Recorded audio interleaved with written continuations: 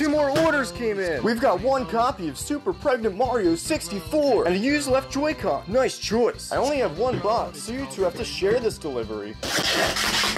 This Joy-Con comes pre-installed with a drift upgrade at no extra cost. And this Super Pregnant Mario is a mint condition, sealed, complete in-box copy. Time to send your orders.